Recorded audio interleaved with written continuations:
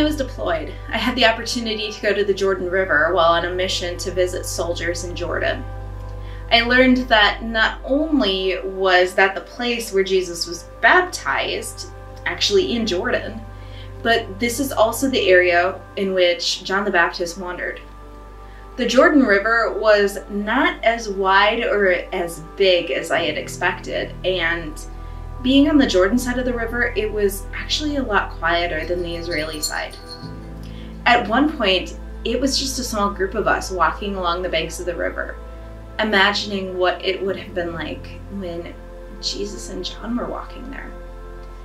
In fact, it was probably a lot more quiet for us there than it would have been for John when he was baptizing the crowds. Out of all of the moments of that deployment, this was definitely one of the most peaceful moments. Sitting on the banks of the Jordan River, staring at the river and into Israel. Peaceful though. That's not how I would describe this interaction between John and those coming to be baptized. In this week's gospel text, which is a continuation of last week's message from John the Baptist, we hear John's version of a holiday greeting to the crowds. John said to the crowds that came out to be baptized by him, You brood of vipers, who warned you to flee from the wrath to come? Bear fruits worthy of repentance. Do not say to yourselves, We have Abraham as our ancestor. For I tell you, God is able from these stones to raise up children to Abraham. Even now the axe is lying at the root of the trees. Every tree, therefore, that does not bear good fruit is cut down and thrown into the fire. One of these years, my family's Christmas card is going to have the greeting, Merry Christmas, you brood of vipers. I don't know how many people will get the humor in it. I think it's kind of funny. I guess it's similar to Merry Christmas, you filthy animal.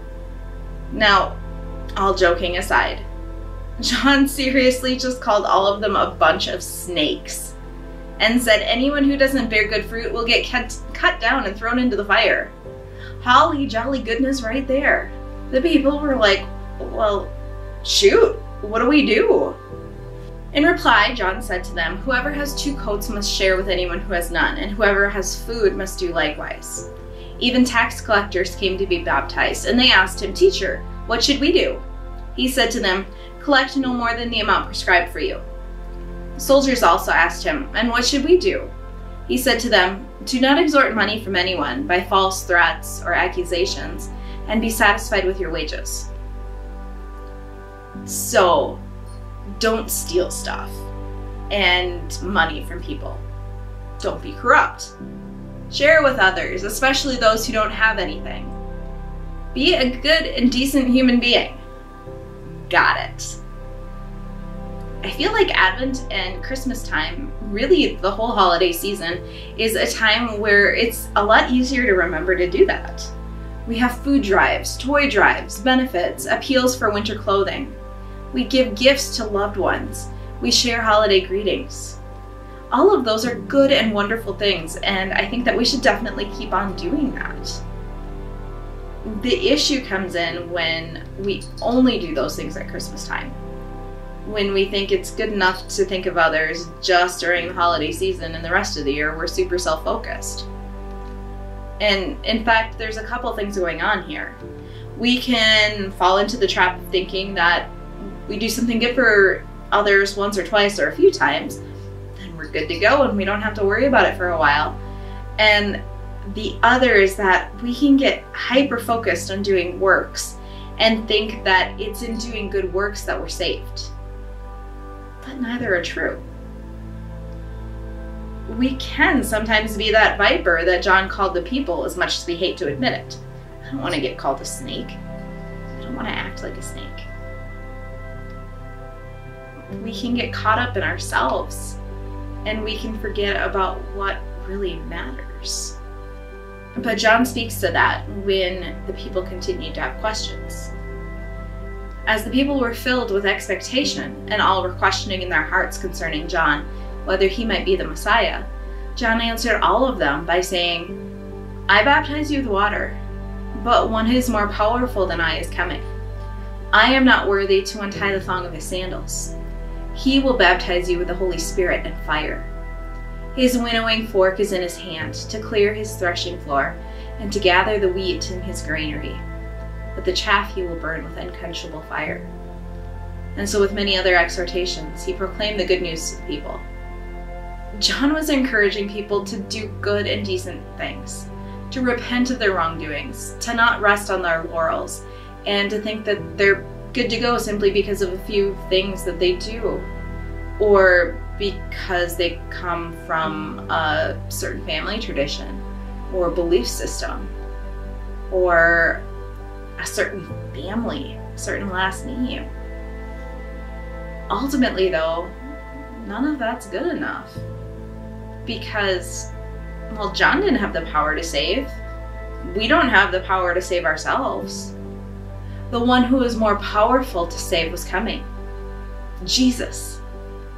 Advent is all about waiting for the coming of our Savior, having hope and faith in Jesus, being filled with joy and peace, and trusting in the promise of Christ's power and might and saving grace.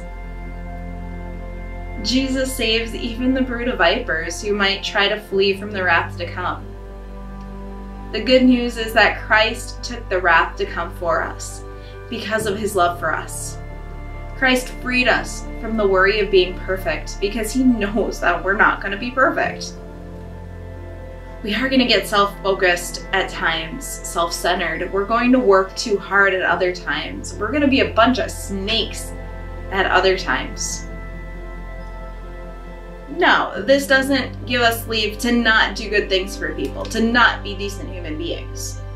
In fact, one of the early church fathers, St. Augustine, wrote Repentance for our sins does indeed change us for the better. But even repentance will not appear to be of much use to us if works of mercy do not accompany it. Works of mercy, doing good things for others, it works hand in hand with our forgiveness. Throughout centuries, we've heard of and seen how through this promise that Christ gives us, we can be more generous and we can show mercy. One way is in following the example of the saints that have come before us. On December 6th each year, my family celebrates St. Nicholas Day. We set our shoes out the night before to have them filled with oranges and chocolate coins in the morning, and we read a story of St. Nicholas the evening before, where we learn about this bishop who in the 3rd century would leave coins and food in the stockings and shoes of the people of Myra, which is modern day Turkey, to help others. The spirit of St. Nicholas's generosity continues today, especially during the holiday season. What a way to spread joy to others. Now, the beginning of John's message this week might sound a bit joyless, but he tells us about Jesus and Jesus is coming. And it is with joy that we can be certain that our Lord has come and that through him we are given the most precious, joyful gift of all eternal life with him. May you find ways to share this joy with others, not just during the holidays, but all year round. Amen.